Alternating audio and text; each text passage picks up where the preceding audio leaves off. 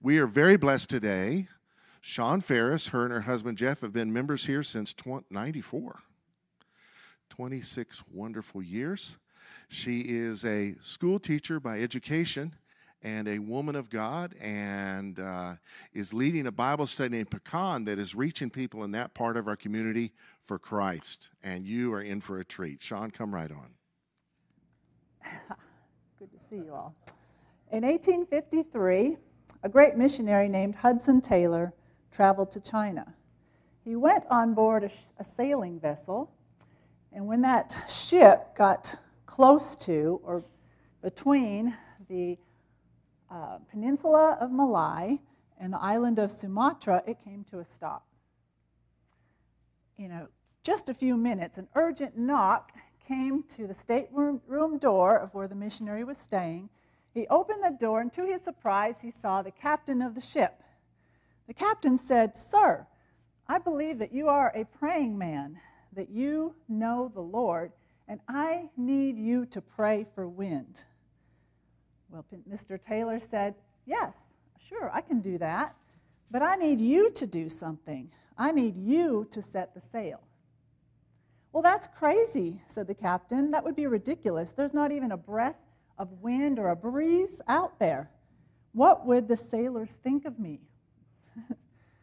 but nevertheless, he relented after a little time and he went and set the sail. Forty five minutes later, he returned to find the missionary still on his knees. He said, Sir, you can get up now. We have more wind than we know what to do with. Let me pray. Father God, you are so good to us. We are so blessed to be here in this house together and by virtual, wherever you are, God, you are there. Father, we thank you for your mercy, your grace, and your love. Holy Spirit, I ask that you would speak to individual hearts that are willing to hear as only you can. You are the deliverer of the word. And I praise you and thank you and give you all the glory today. Amen. Amen. Yes. Well, for several months before the lockdown, Pastor Allen had been taking us on a journey through Genesis. And he was in the part of Genesis where he was teaching us about Abraham. Abraham's story spans from Genesis 12 all the way to Genesis 25. So he was about there where I got a word from God. and on March 29th, I was due to bring that word. Well, that was our first Sunday closed. so I thought, okay, God, we'll, we'll see what, if you want me to do this. Um, now I have an opportunity again to share that word from then, but I feel like it's more important for now than even then. So back in November, I was asleep and I woke up in the middle of the night and I heard three statements come into my mind. And I thought, this sounds like a sermon. sounds like a three point sermon. And I haven't been a Baptist in decades. you know, they're very well known for their three point sermons. I just got three lines and then I went back to sleep. The next morning I woke up and I said, God, can you fill in the blanks here? Because I think this is a word for the church. And he did just that. He led me into Abraham's story. I saw a couple of things there that I'd never seen before. And that's where I went with it. Um, today, I'm going to share a little bit of Abraham's story. And then I'm also going to parallel that with one of my own personal stories. So here are the three points that I received in the middle of the night receive the promise contend for the promise, rest in the promise. Point number one receive the promise. The Bible is full of promises to us. Everett K. Storms, he was a Canadian school teacher, on his 27th reading through the Bible, he concluded that there are 8,810 promises in the Word, with 7,487 of them being direct promises from God to humankind. Receiving a promise comes from a place of need or desire. Abraham had a need, a rightful heir. He did have a servant, his name was Eleazar, and he was due to inherit all of Abraham's riches because he had no children. God had given him this promise right here, in Genesis 15 4. And behold, the word of the Lord came to him, saying, This one, Eleazar, shall not be your heir, but one who will come from your own body shall be your heir. Abraham received the promise and he believed the promise. 27 years ago, I had a need. I was a young wife and mother living in San Antonio, we were at the time. And I thought, well, you know, it might be time to go get a checkup. I hadn't done that in a long time. So I went to a doctor that Jeff recommended. It was his doctor, and he was actually an exercise cardiology specialist. Well, he was listening to my heart, as they always do, and he said, Did you know you have a heart murmur? I said, Hmm, nope. 33 years old, mm-mm. Um, he said, You know, it could have been there from birth and it just went undetected, or it could have developed over time. I want to do another test on you. I said, Okay. So I went and got an echocardiogram. It's a sonogram of the heart. So I go back to the doctor and he tells me, Well, you have the most rare form of a heart murmur. It's called an aortic insufficiency.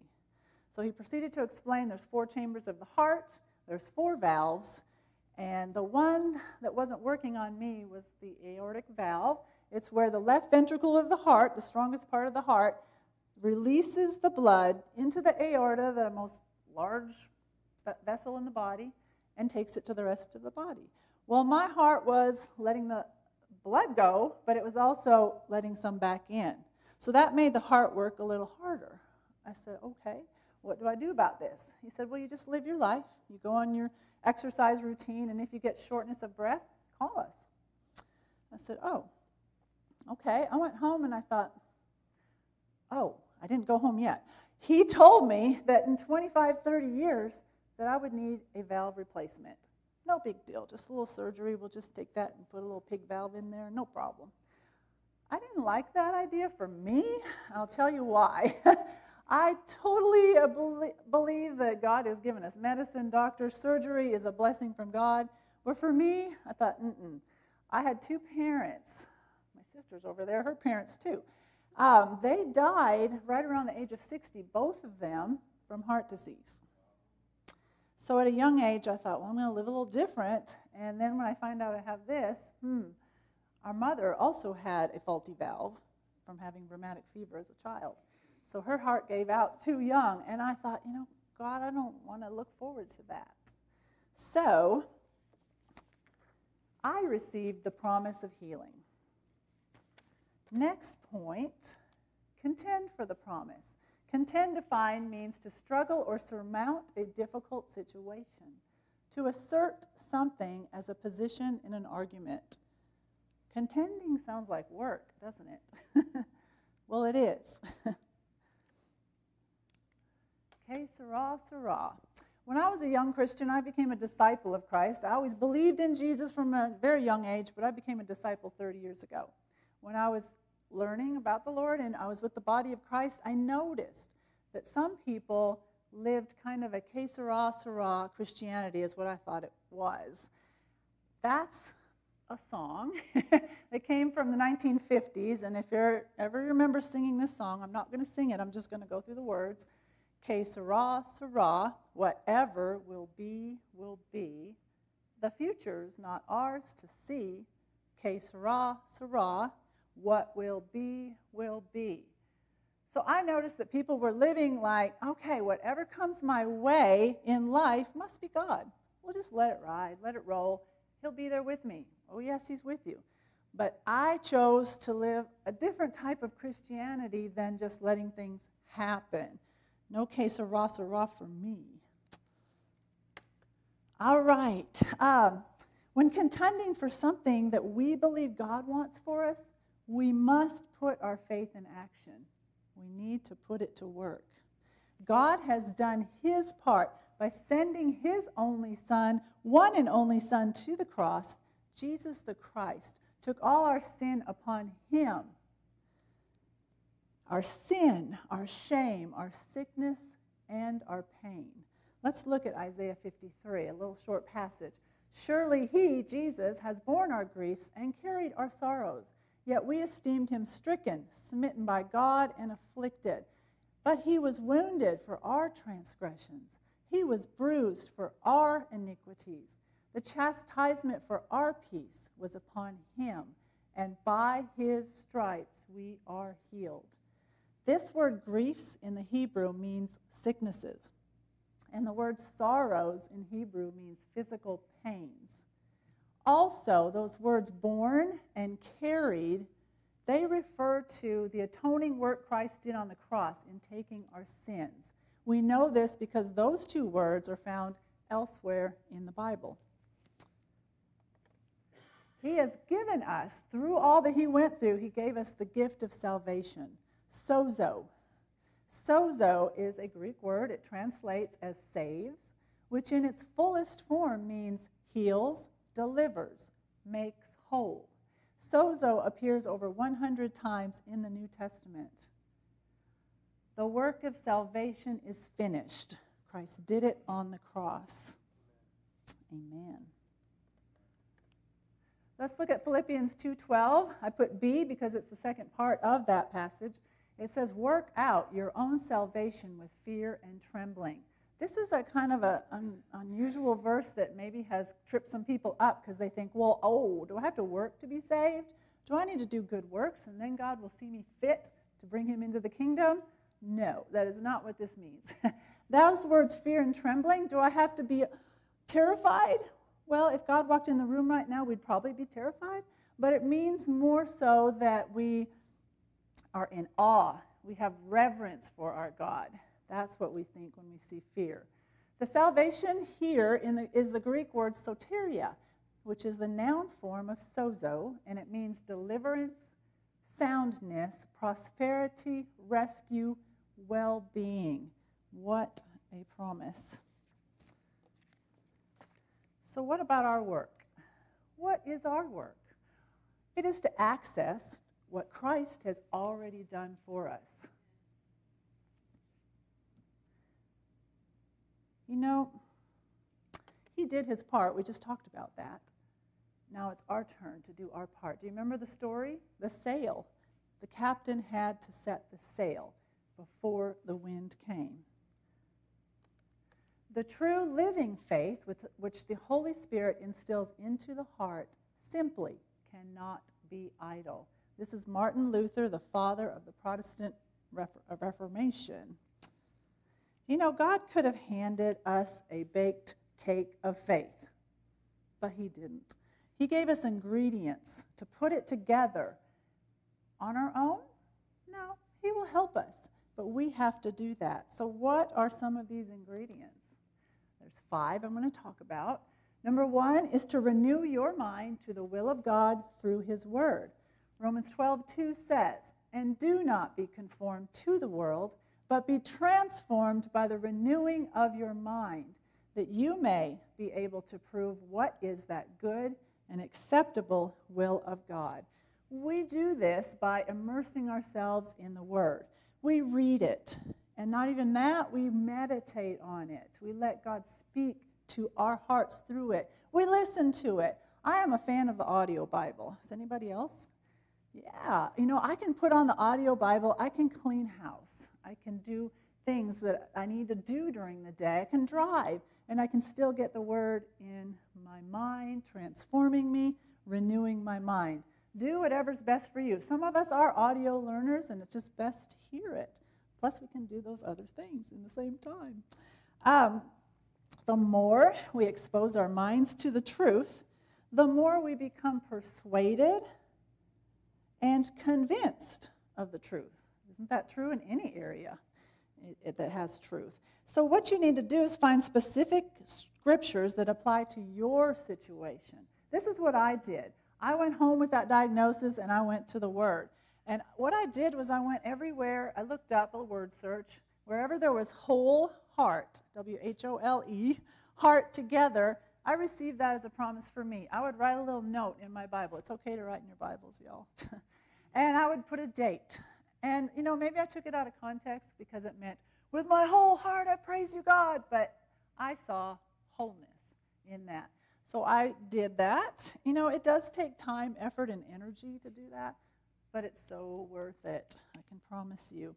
All right, here's another one that's not in the notes, but it's just free. You also should get involved in a Bible study. Pastor Allen was giving you opportunities. If you don't see what you can attend or want to, pray and ask God if you're supposed to start your own. Four and a half years ago, Lori and I went on a venture and we started a Bible study in our community. And it's still going. Every Thursday morning we meet. Some of our um, Grace girls are here. We call ourselves Grace because Grace is what it's all about. Um, there is one particular Grace girl here that I just have to talk about because yesterday was a very big day. This is me in our pool.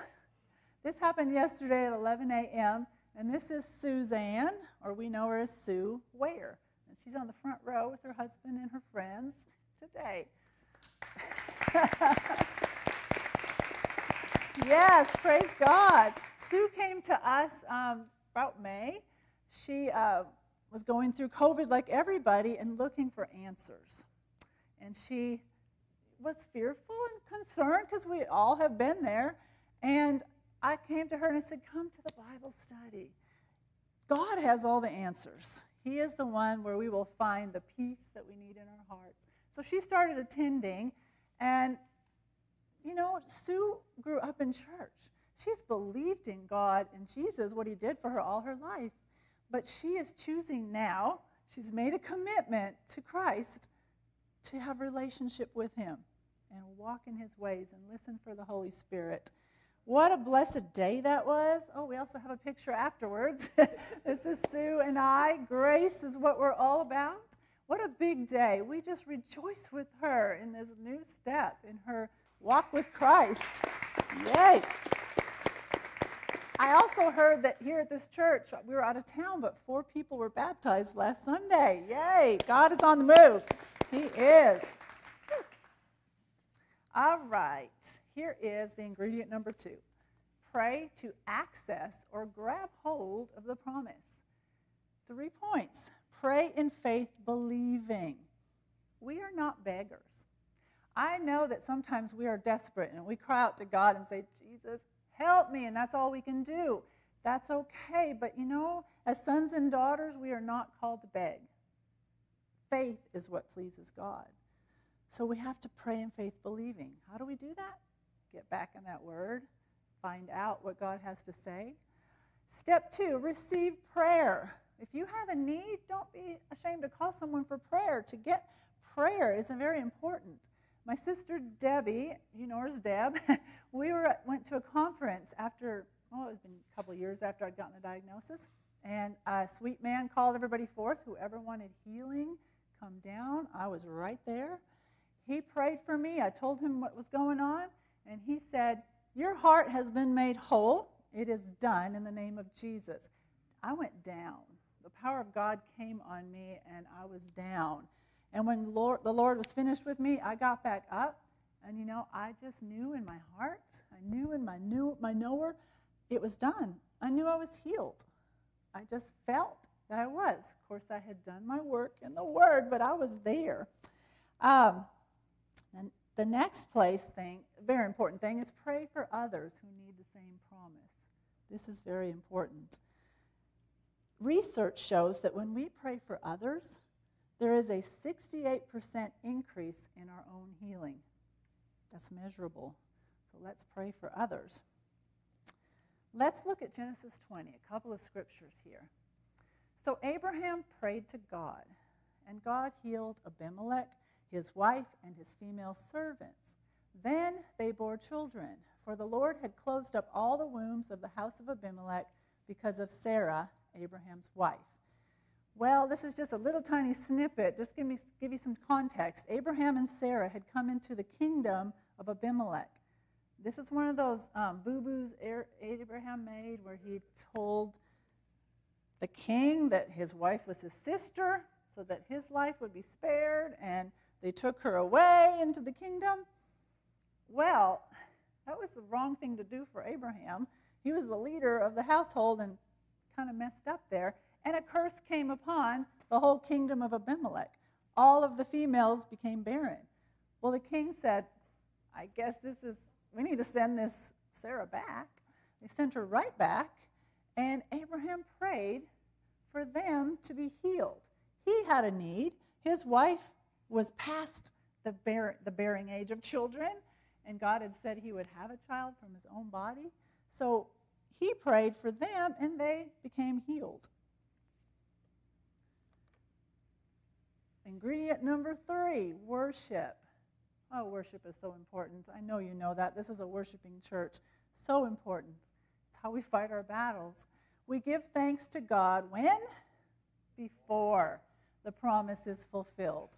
We thank Him for who He is, all He's done, and for all He's yet to do. Pray, praise Him first. Jeff had a, a wonderful teaching called Altar of Sacrifice, I think last year. Look it up and enjoy that.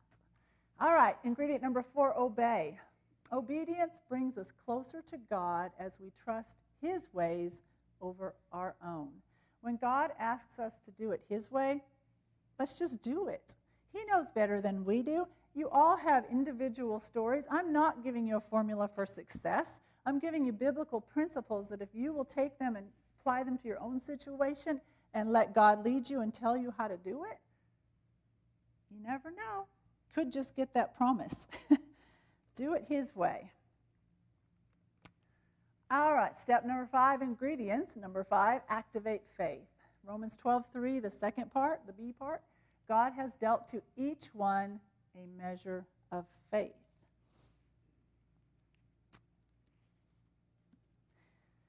Abraham did believe, and it was accounted to him as righteousness. And because of that, he received the promise. So, in this passage, it tells us that God has given, a, given each of us a measure of faith.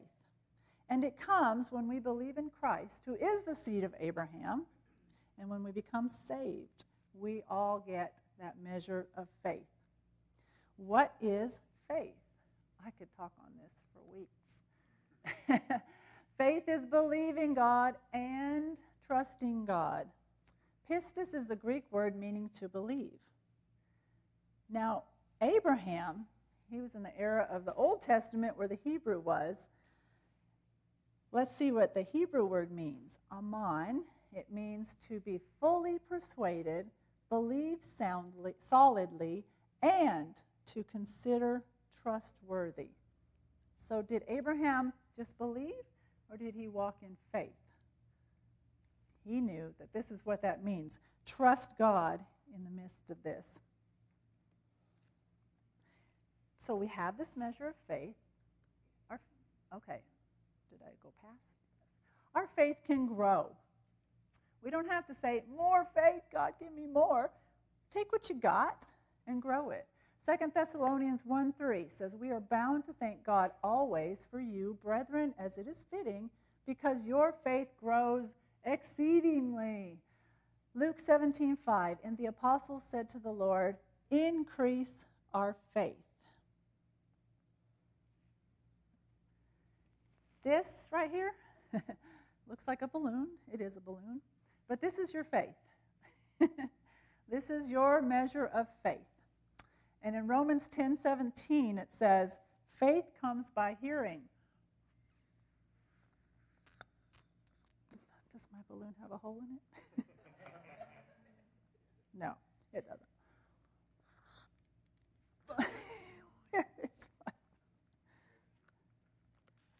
Yeah, I did the stretching of it. There we go. Faith comes by hearing and hearing. Keep on hearing and hearing. My faith has grown. Your faith will grow. Do we tie it off? Maybe. But you know what? We live in a, in a really interesting time of fear and doubt and uncertainty and not knowing what is coming. Please do not let go of your faith. do not do that. All righty. Faith. 11, Hebrews 11 1 says, Now faith is the substance of things hoped for, the evidence of things not seen. Substance is the Greek word hypostasis, which means to stand under. Faith is that exercise of mind and soul which has for its object things not seen but hoped for. The Lord asks us to declare our faith by saying that we have hypostasis, or the stand under of that which we are believing for and hoping for. Do you need healing today? Do you need provision from God? Do you need salvation for your loved ones? Then come and stand under. That's what you're hoping for. This is the substance, the stand under. This is our part. Amen? Amen. Now Abraham gave us an example of this. Romans 4:20. He did not stagger at the promise of God through unbelief, but was strong in faith, giving glory to God. The word stagger, that's what fear and unbelief make us do. But faith, hypostasis, comes under and supports and holds steady. We're not going to stagger, right? We don't want to stagger. Fear and unbelief will do that. Do not buy fear and unbelief. It comes straight from the pit of hell. Come against it and walk in faith. Fear and unbelief are not our portion. They, it comes, we need to deal with it and ask God to help us, and He will. So Abraham had faith, although that which he believed for was humanly impossible. That which I believed for was humanly impossible. Do you know, I went back to, um, I didn't go back to the doctor. I received that prayer. I believed that I was healed. I should have gone back to the doctor just to confirm so I could testify. Well, do you know, we were a young family, and echocardiograms was it was not covered by our insurance. And it was about $500 at the time, and I thought, I don't want to spend that just to show that I'm healed because I already believe it. Well, about 10 years goes by, and I feel like the Lord's dealing with me. Would you go get that checked out so then you can give your testimony? I did. I went to my now doctor in Granbury, and he did an echocardiogram. I had to pay for it. And it came back, your heart is normal. There's no, no problem at all, no issues. Praise God. Give him all the glory. Step number, th- or point number three that I got in the middle of the night rest in the promise. Back to Genesis 20, a couple verses earlier. Abimelech said to Sarah and Abraham, See, my land is before you. Dwell where it pleases you.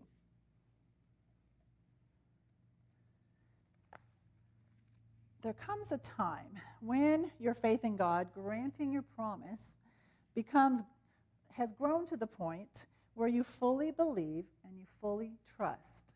That is where when you rest in this area of your life. Will our faith ever be perfected? No, not this side of heaven. But we will have many, many opportunities to practice. And each time we get the victory, it gives us strength and fortitude to keep going.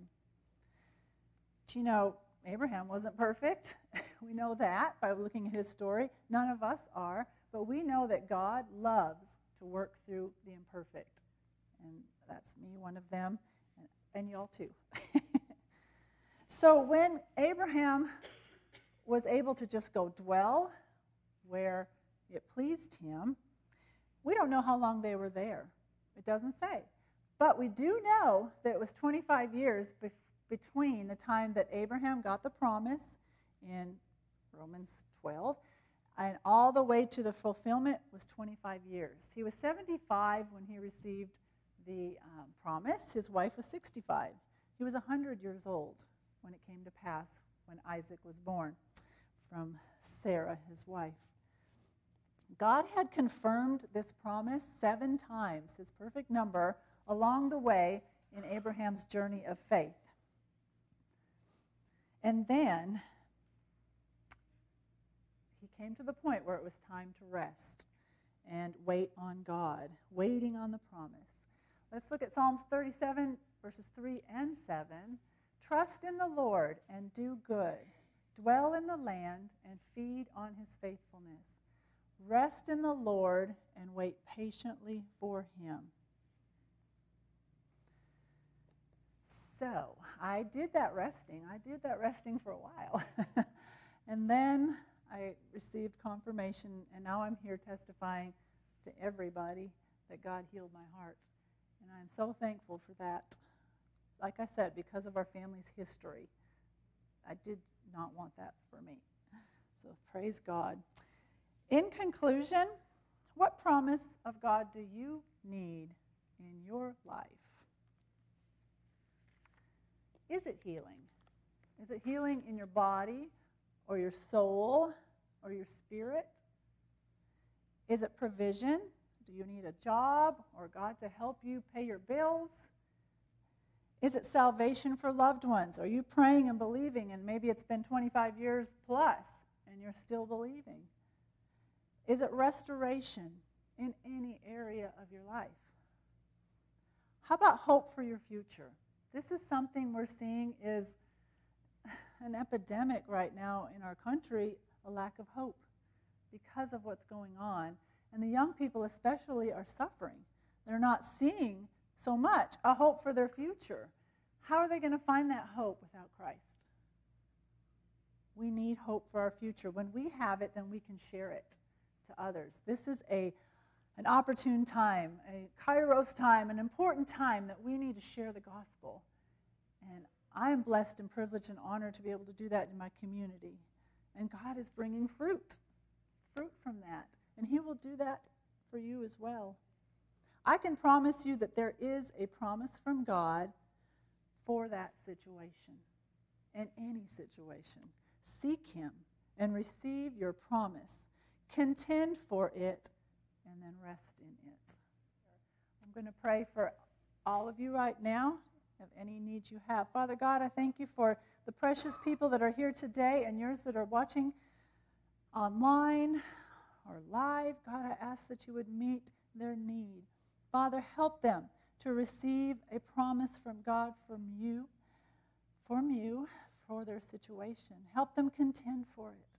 Help them to rest in it when it is time. And we praise you and thank you for the bringing about of that promise, the bringing to materialization from heaven to earth that promise. I thank you for it in Jesus' name. Amen. Amen. Amen. Thank you so much.